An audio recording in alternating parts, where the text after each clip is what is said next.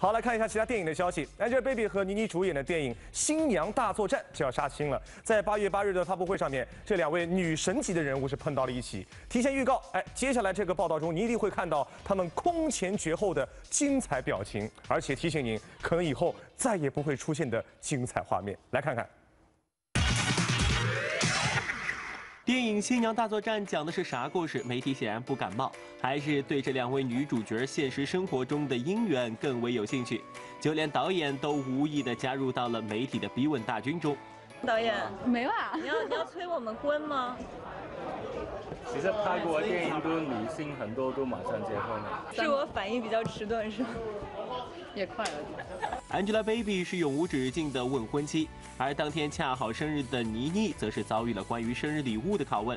你收到什么礼物呢？我也想知道。我真不知道，我自己都不知道。还是惊喜保密阶段，大家不要爆料。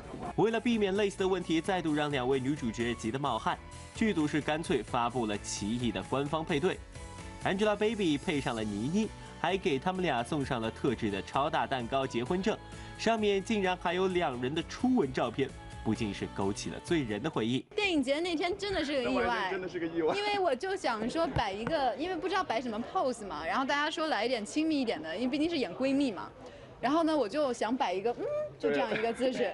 然后他突然就亲上来了。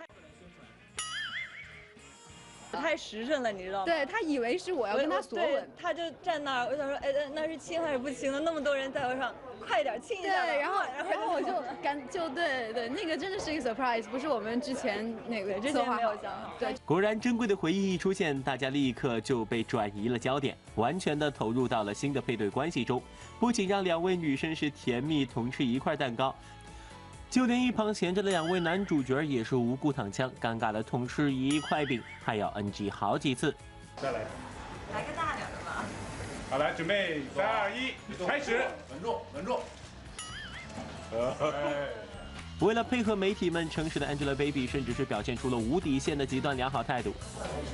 各位导演，你们想我们怎么演？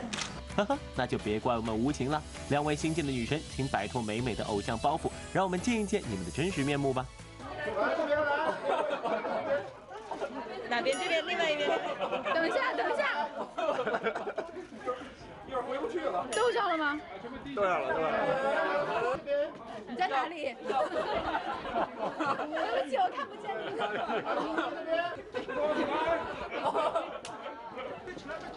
没 演，太绝了。左边，左边，左边来，左边来。娱乐新天地上海采访报道。